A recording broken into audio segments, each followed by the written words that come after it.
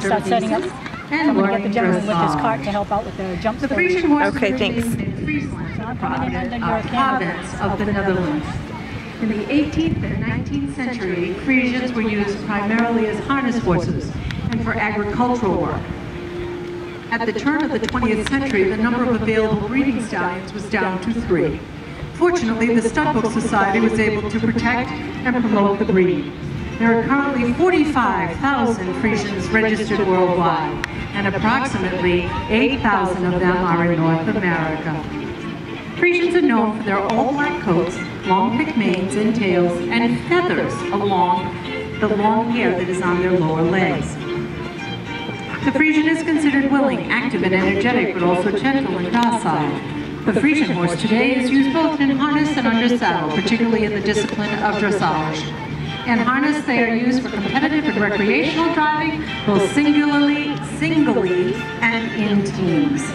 For more information, you can always visit the Friesian Horse Association of North America.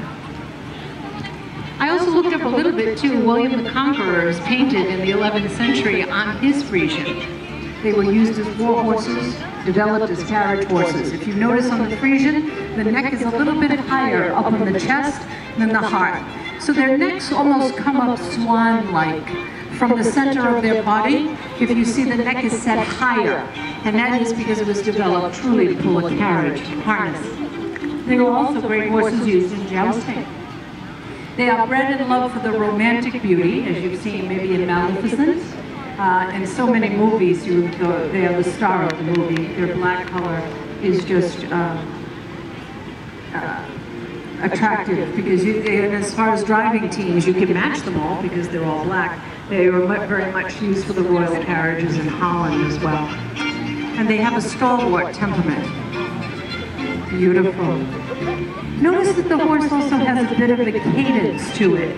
Paul here is demonstrating the rising trot again in, his dressage seat. So, what you notice, if you notice the horse has a bit of a lovely hesitation in its movement as it trots.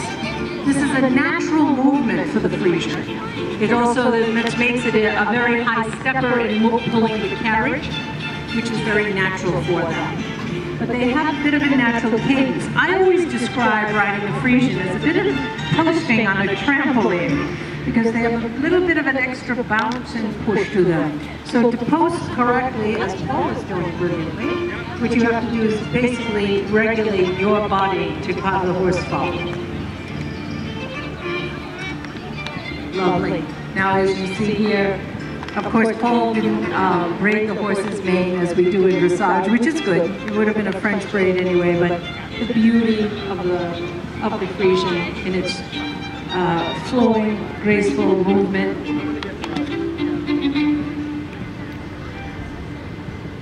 This is the canter.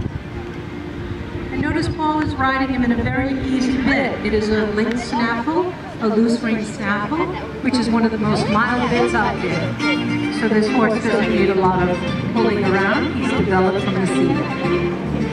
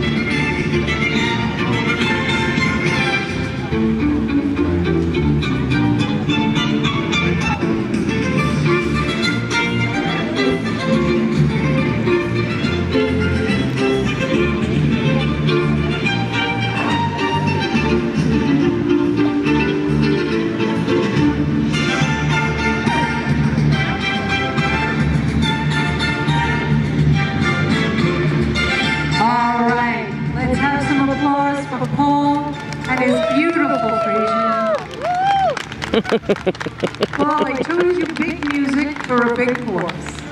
Something majestic, he's a pirate. But nice and big because these horses, their movement is big.